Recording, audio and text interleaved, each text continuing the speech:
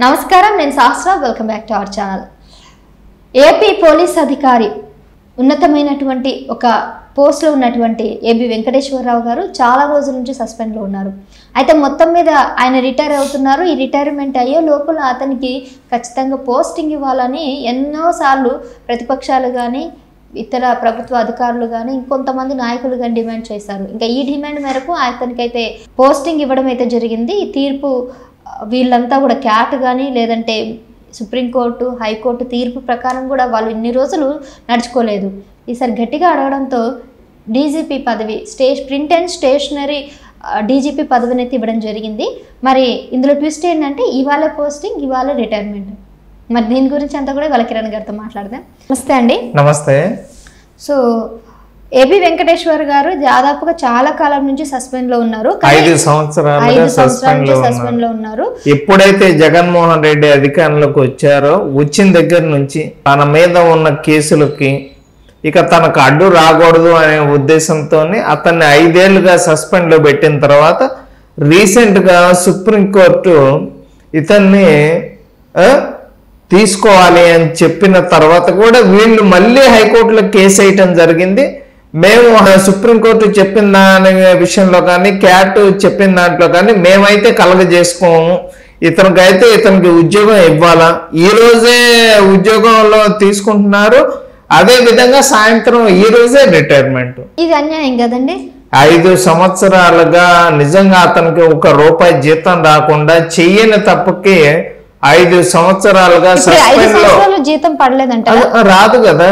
సగం జీతం అయితే వస్తుంది. మరి ఏ తప్పు చేయకుండా ఐదు సంవత్సరాలుగా సగం జీతం తీసుకుంటా నరక యాతన అనుభవించి ఒకవేళ ఇప్పుడు సస్పెండ్ రిటైర్మెంట్ అయినా కానీ రేపు టీడీపీ పార్టీ అధికారంలోకి వచ్చిన తర్వాత ఈ ఐదేళ్ళు సస్పెండ్ అయిన ఐదేళ్ళు నాకు తెలిసి చంద్రబాబు గారు ఏ నిర్ణయం తీసుకుంటారు అనేది మేమైతే ఎదురు చూస్తున్నాము ఉమ్, ఐదేళ్ళు పాప అతను నిజంగా నరక యాతన అనుభవించారు కాబట్టి ప్రత్యామ్నాయంగా ఏమైనా మళ్ళీ పోస్ట్ ఇచ్చే అవకాశం ఉందా? రిటైర్మెంట్ ఆ దేవుడి దయ మామూలుగా ఏ తప్పు చేయకుండా ఇలాంటి అధికారి మళ్ళీ ఉండాలి అని చెప్పి జగన్మోహన్ రెడ్డి చేసిన తప్పులకి సరైన మొగుడు ఇతనే అని చెప్పి మళ్ళీ ఇంకొక ఐదేళ్ళు పెంచినా కూడా అది చంద్రబాబు గారికే చెల్లుతుంది అని చెప్పి మేమైతే చెప్పగలం? మరి ఈ రోజు ఆయనకి ప్రింటింగ్ అండ్ స్టేషనరీకి సంబంధించి ఒక డీజీపీగా బాధ్యతలు అయితే అప్పగించారు. కొన్ని గంటలు మాత్రమే. ఈ కొన్ని గంటల్లో ఏం చేయగలరు అంటారు ఏమి చేయరు. ఇంకో కొన్ని గంటలు ఇక కోర్టు తీర్పిచ్చింది కాబట్టి వీళ్ళు ఏమి చేయలేక కేవలం ఇచ్చి సాయంత్రం ఐదింటికి రిటైర్మెంట్ అయినా కానీ ఇంకొక నాలుగో తారీఖు రిజల్ట్స్ వస్తాయి. కూటమి అధికారంలోకి వస్తుంది.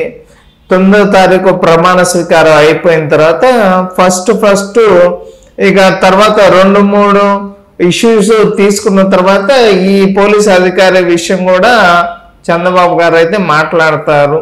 సరైన న్యాయం జరుగుతుంది అని చెప్పి మేమైతే కోరుకుంటున్నాము. అయితే ఇప్పుడు ఆయనకి ఈ పెదవి ఇవ్వడానికి అంటే రిటైర్మెంట్ టైంలో అమౌంట్ అతనికి ఆ బాధ్యత అట్లా ఇవ్వడానికైనా అనా పైసలతో సహా ఈ ఐదు సంవత్సరాలుగా ఈ అధికారి ఎంతైతే నష్టపోయారో మొత్తం కూడా విత్ ఇన్ సెకండ్స్ మీరు ఎట్లయినా డబ్బులు ఇచ్చేయాల?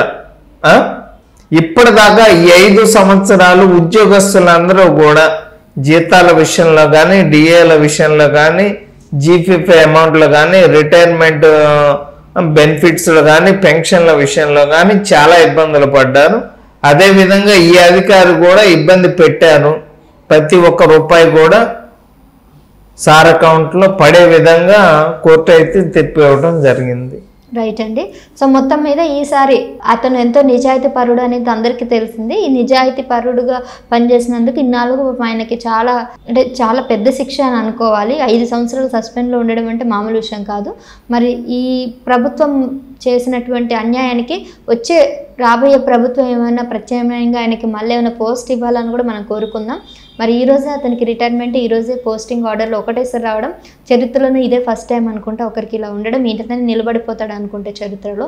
ఎనీవేస్ ఇంత నిజాయితీ ఉన్నటువంటి ఏబి వెంకటేశ్వరరావు గారికి ఒకసారి హ్యాట్సాప్ చెప్తూ పోస్టింగ్ ఆర్డర్లు తీసుకోబోతున్నందుకు అభినందనలు చెప్తూ రిటైర్మెంట్ తీసుకున్నందుకు కూడా అతనికి మంచి రాబోయే కాలంలో అన్ని మంచి రోజులు జరగాలని మనం కూడా కోరుకుందాం.